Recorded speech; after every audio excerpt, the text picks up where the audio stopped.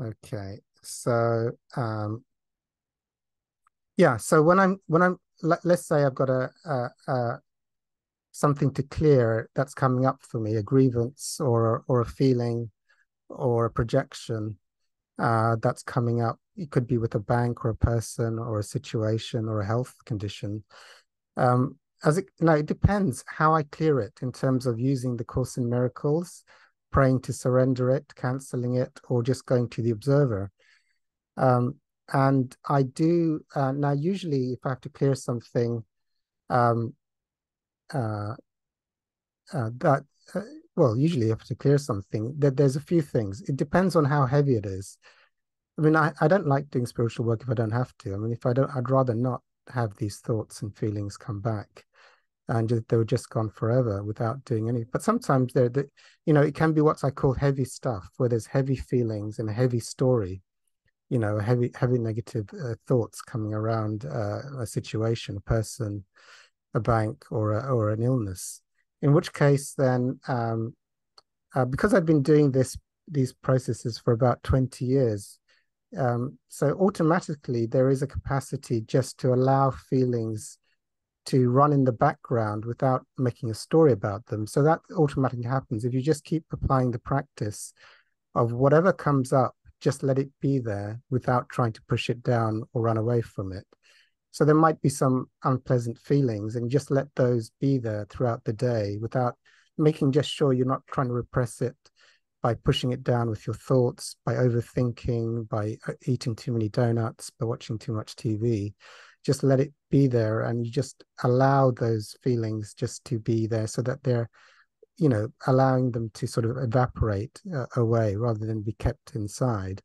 So that's that will automatically be done. That usually nowadays in the early days i had to usually sit and, and just allow the feelings to present but they're very very subtle nowadays so it doesn't really require any sort of practice as such.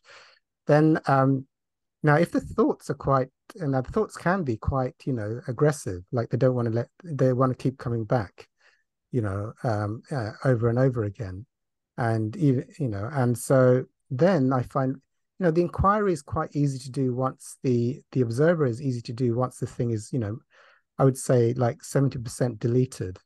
You know, once it's very very soft, there's hardly any feelings there.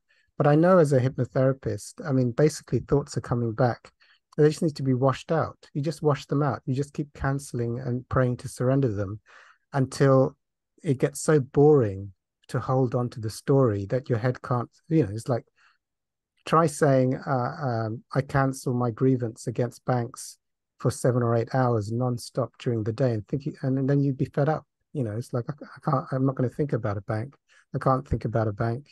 There is no grievance about a bank. It's like the ego goes, no, I mean, you can't just cancel it over and over and over again for hours on end. And then it's like it just gets deleted out. It's it's not deleting it. It's not canceling it. It's not praying incessantly.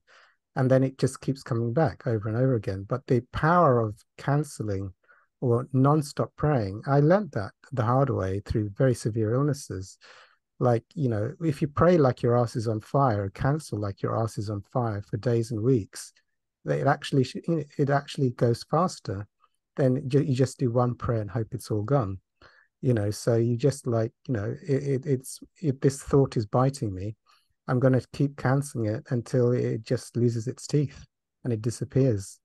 Um, so that's with heavy stuff you know it's like well you're not going to win. This thought's not going to win. I shall keep canceling and praying to surrender you until you disappear. So just you can show up as long as you like but i'm going to delete you so, it, so it's almost like a fight with this thought that wants to keep coming back. And then uh, in know through experience, all thoughts will shift. Uh, you know, if you with um, it's just some of them are a little bit more difficult to shift. Now, I know people say there's no order of difficult everything, there's no order of miracles, but uh, you know, in my experience, you know, you just do whatever it takes to shift it out because it's blocking, it's blocking miracles basically. Um, then, of course, you know, once you've done the heavy thing, the feelings are, uh, let's say, 70% gone, and you've done the heavy duty praying, so the thoughts aren't hardly there. You know, being in the witnesser and them not thoughts not coming back and feelings not coming back is just you just finish it off very, very easily. so that so the heavy stuff is allowing the feelings and uh, and also just doing the prayers i surrender this and i pray to god for forgiveness transcendence miracles or i cancel my cancel my belief in whatever i'm an infinite being do it over and over again hours every day if necessary uh, because once these thoughts and then and then observe and, and and when it no longer comes back incredible i mean I, uh, i've had all kinds of incredible miracles happen i've shared them before in other videos so i won't bore everyone again but spectacular miracles happen. But I have to release it 100%. So uh, that's the order of how I do things.